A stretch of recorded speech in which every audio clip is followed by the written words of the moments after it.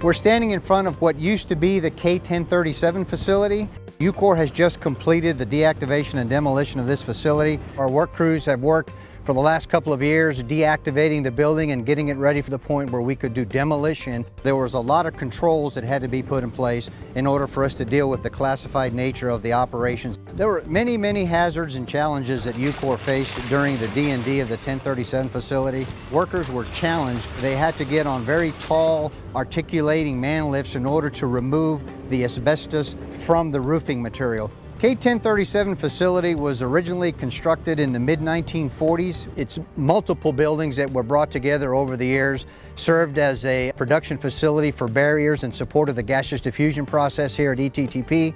We believe firmly that safety is number one. All of our work is planned with safety in mind.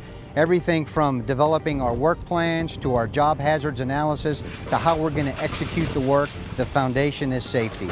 Great collaborative effort on behalf of our craft, all the multiple disciplines that it took to pull off this job. They get the majority of the credit. They're the ones that are making it happen. But there's also a collaboration that's required from multiple organizations that support the work in the field. As UCOR completes our scope of work in support of Vision 2020, We'll be supporting our customer in turning over the majority of the areas here for reindustrialization and for beneficial reuse and keep the jobs in the area, a great economic benefit to Oak Ridge.